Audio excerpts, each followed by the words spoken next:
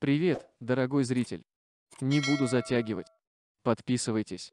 Итак, приступаем к просмотру горячей новости. Топим.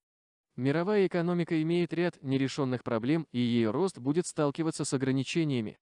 Несмотря на все усилия Белого дома по снижению цен на нефть в прошлом году, ключевой вопрос стоимости топлива, дизеля и мазута для штатов так и не решен.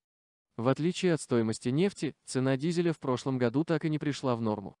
Отрезая российские НПЗ от мирового рынка, американцы лишь усугубляют проблему нехватки нефтеперерабатывающих мощностей. Имеющаяся альтернатива российским НПЗ в виде китайских и индийских самоваров – это лишь видимый профицит. Эта инфраструктура построена под будущий рост экономик этих стран. Если и когда мировая экономика начнет выходить из ковидной спячки, топливные потоки индусов и китайцев быстро переориентируются с экспорта на внутренний рынок, а развитый мир столкнется с острым дефицитом топлива. Пока в США и Европе не стали строить новых НПЗ, а в здравом уме при зеленой повестке этого делать никто не будет, время играет на российскую экономику. На этом все, друзья. Следите за новостями на канале. До новых встреч!